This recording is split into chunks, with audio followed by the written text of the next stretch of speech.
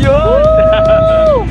Ito ang aming mga tinatawag ng tourism competition yeah. ang magtampisaw sa malaking sal na tubig sa Puerto Princesa at ang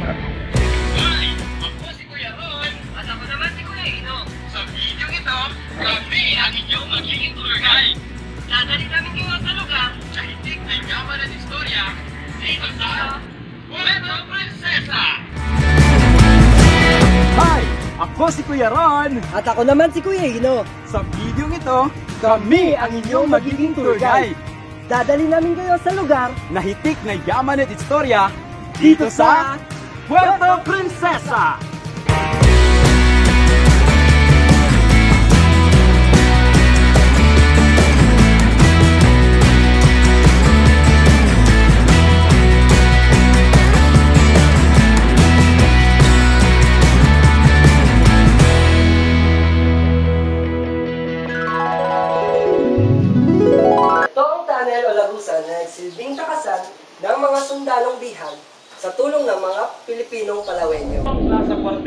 Matatagpuan katabi ng Immaculate Conception Church ng Puerto Princesa City. Saksi ang lagusan na ito sa karumal-dumal na paghihirap ng mga sundalong bihag. Sa lugar na ito, naganap ang kahindik-hindik na tinawag na Palawan Massacre. At sa mga bihag, iisa lang ang bukod tanging nabuhay. At ito ay si Marine Glenn MacDonald. Higit kumulang isandaan at 50 Amerikanong tihag sa lugar na ito.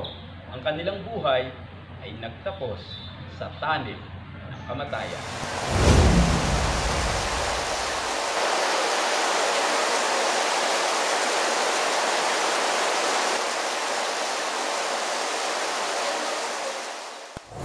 So, Kuya Ron, salamat sa sabi ko sa iyo, Kuya Ron. Ano, ano? Thank you talaga sa damit, then sa pa-shirt mo. Ng thank you, thank you, thank you. And, uh, uh, the memories will remember.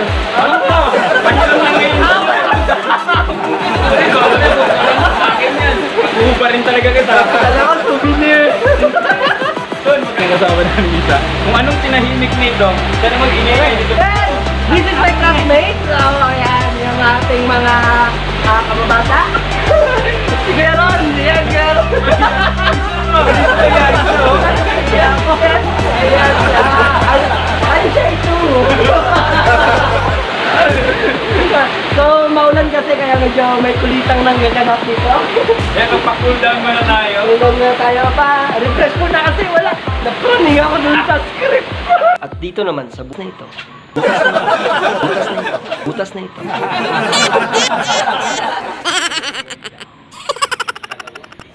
Lagusan na silbing takasan ng mga sundalong bihag sa tulong ng mga Pilipinong Palawenyo. Kuya, dito tingin kuya ha. Ay, nakalimutan mo na kuya. At ito namang butas na ito, butas na ito, butas na ito, butas na ito. Sana ang bihag na sundalo. Ito ang Plaza Cuartel, matatagpuan katabi lamang ng Immaculate Conception Church ng Puerto Princesa, na kung saan sa lugar na ito naganap ang kahindik-hindik na tinawag na Palawan Massacre. Na kung saan, ay, Palawan Massacre, noong ikadalawang digma ang pandaigdig, laban sa mga Hapon, ang humigit kumulang isandaan at 50 Amerikanong bihag, kung saan ang buhay saan di- ang buhay ay nagtapos sa tunnel ng kamatayan. Pero andun na. Yung, ay, yun na lang. Okay na. Okay na. Okay. Mapapanood nyo dun sa mga ah, behind the scene namin, may, may lutang. Yung mga latang moment lutang. Alam mo, ang bilis natin mag-isip pag walang pinag-iisipan. pag may gagawin, yun lang, lumulutang. Mas marami pang retake sa talagang final. Grabe. Talaga. Lalo na ito, Ay, the nako! best, putang-puta sa retake. Isang oras lang kulang. At dito naman sa butas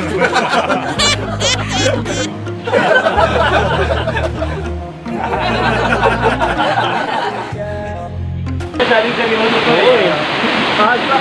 So, ito yung mga Bigyan, bigyan natin yan ng konting mga energy gamit para namin. naman So, makasali. yan. So, meron kaming get out. Mahal, mahal, mahal. Mahal, mahal. Yan. And, uh, this is me. Only me. The only you. The only me. Yan. Ayan, hello sa inyo mga marikot-marik ko. Ayan. Welcome to Kuya Ron's channel. You. YouTube channel and welcome Kuya Ron. Yes, salamat, salamat. Puerto Princesa Plaza Cuartel and yan guys, so abangan nyo ang aming collaboration Yeah, yeah, yeah, Puerto Princesa and showing all the beauty of Puerto Princesa. Ayun nga guys kasi kaya kung mapapansin nyo parehas yung aming suot dahil meron kaming ginagawang isang uh, puro ah, isang vlogging contest at here in Palawan na tinatawag na City Tourism Month at vlogging contest na kung saan guys the destination here of Puerto Princesa ay aming i-featured in maximum of 7 minutes from 5 minutes at yun po ang collaborations with Ichino and uh, Kuya Ronnie the Island we're gonna bring you more of the destinations here in Puerto Princesa at sana guys kapag nakapasok kami into the final 10 woo! Lakas ng ulan!